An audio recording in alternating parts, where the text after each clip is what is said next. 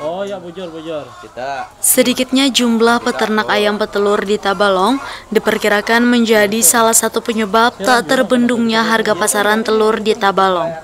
Sedangkan kebutuhan telur ayam di Tabalong mencapai 2.400.000 butir telur per bulannya atau sekitar 80.000 butir per hari. Dari data Dinas Pertanian Tabalong, sejumlah peternak ayam petelur di Tabalong hanya sebanyak lima peternak. Salah satunya seperti peternak ayam petelur yang dikelola Abdul Hair di Kelurahan Hikun. Dalam sehari telur yang dihasilkan dari peternaknya hanya berkisar 1.800 butir. Produksi telurnya Per hari kah? per hari.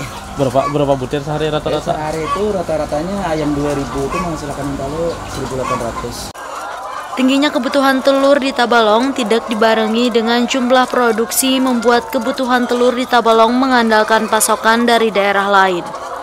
Hal ini dibenarkan oleh Yunita, salah satu pedagang telur ayam di Pasar Tanjung yang terbiasa mengambil pasokan telur ayam dari kabupaten lain untuk dijual di Pasar Tanjung. ini lokal kita betul-betul tadi telur Jawa kan lokal yang kita masih lokal aja. iya maksudnya dari masih dari Kalimantan lain yang telur Jawa Di Kabupaten Tabalong, peternak lebih memilih beternak ayam pedaging daripada ayam petelur, sehingga produksi tidak mampu mencukupi kebutuhan telur ayam di Tabalong. Serlino Varianti, TV Tabalong melaporkan.